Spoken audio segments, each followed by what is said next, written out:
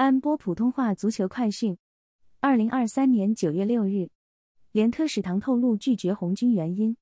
接受记者采访时，谢斯伯连特史堂透露自己今夏为何加盟拿波里，而拒绝了利物浦的邀请。谢斯伯连特史堂表示，利物浦也想签下我，但是我需要得到更多的出场时间。去利物浦是明智的选择吗？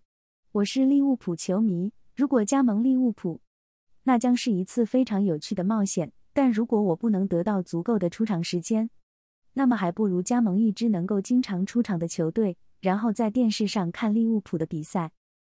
现在我到了必须拿到稳定出场时间来涨球的年龄，这就是为什么我认为加盟拿波里是明智的选择。拿波里是世界上最好的球会之一。